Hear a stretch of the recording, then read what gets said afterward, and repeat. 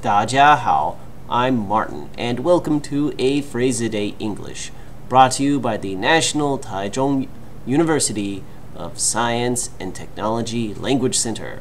Today's phrase is to give as good as you get. To give as good as you get. 传力还击 to give as good as you get means to be as forceful in fighting or arguing against others as they are against you. It means you have the strength to fight back.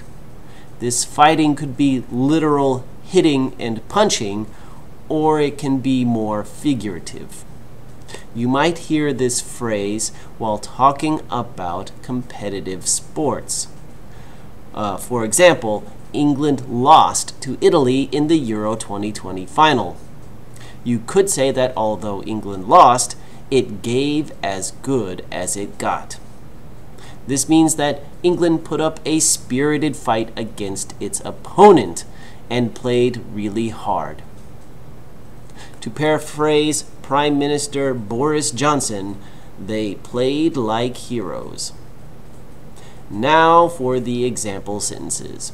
Number one, to be a good boxer, you have to give as good as you get.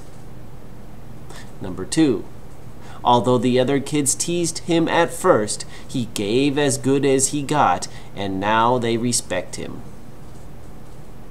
To give as good as you get.